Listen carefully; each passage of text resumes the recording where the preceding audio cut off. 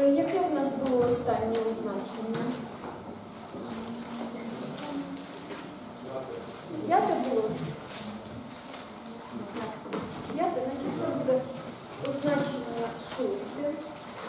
Е, Нехай аж так, не, не так. Нехай Ж з якоюсь операцією це група. Нехай Ж з якоюсь операцією група. А аж це підмножина оцієї множини Ж. Тобто, коли я пишу Ж і операція, то під Ж я розумію множину. Аж деяка підмножина множини Ж. Якщо аж з оцією ж самою операцією є групою,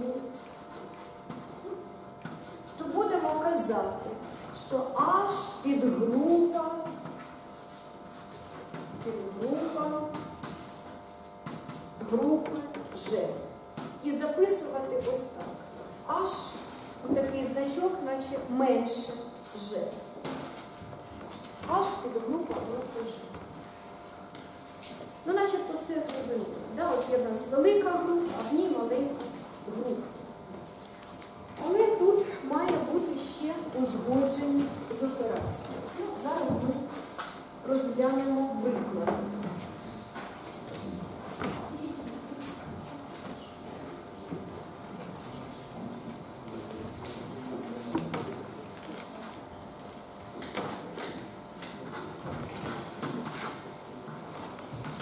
Розглянемо, наприклад, групу цілих чисел з операцією додавання.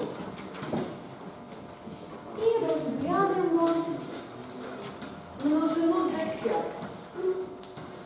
Множина Z5 міститься у множині Z.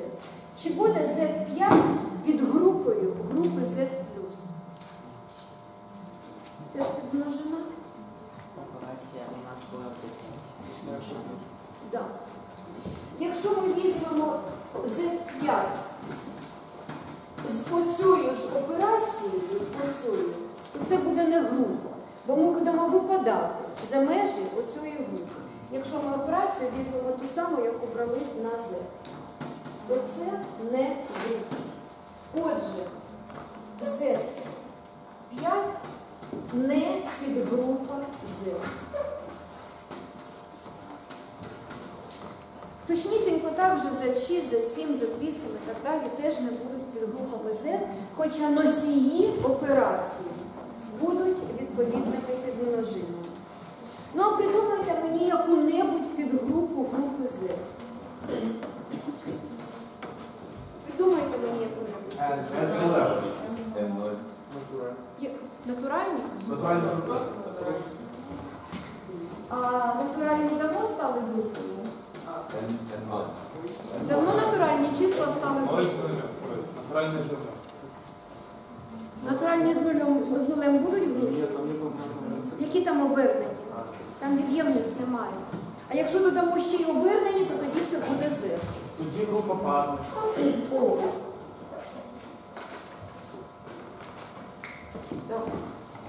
Третя спроба вже більш вдала. Як ми позначаємо парні числа? Два з.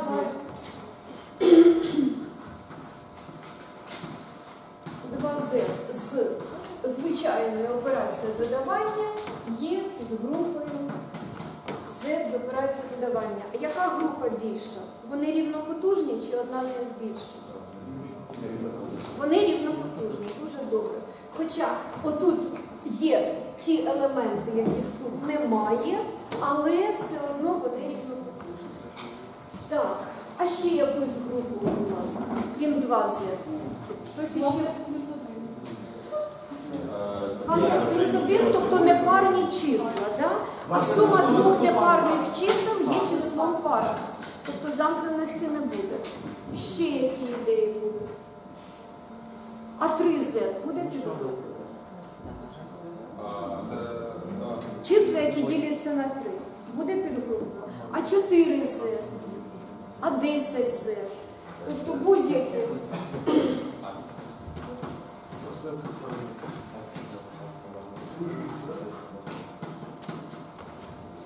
Ось така підгрупа для будь-якого n, така алгебраїчна система буде підгрупою Z. Більш того, інших е, підгруп в групі Z немає, це ми доведемо трошки пізніше. Так. Ну, давайте ще щось пошукаємо у групі нас Є множина матриць е, з операцією видавання. Можемо якусь підгрупу?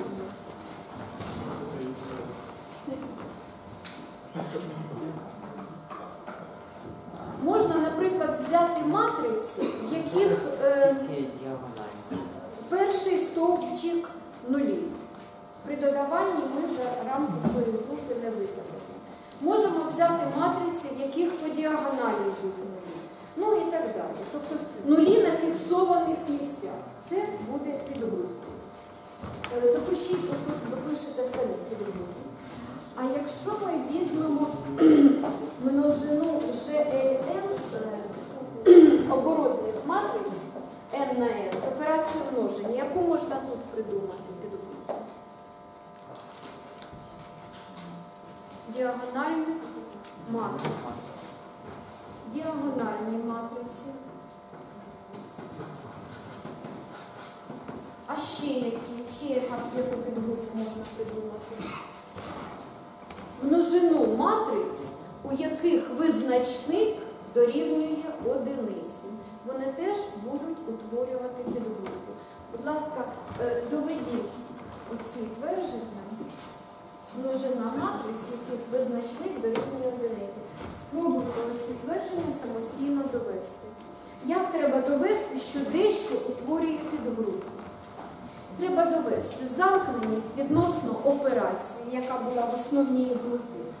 Далі е, наявність, е, ну, асоціативність буде зберігатись, бо це підмножина, наявність одинички і для кожного елементу наявність обернення.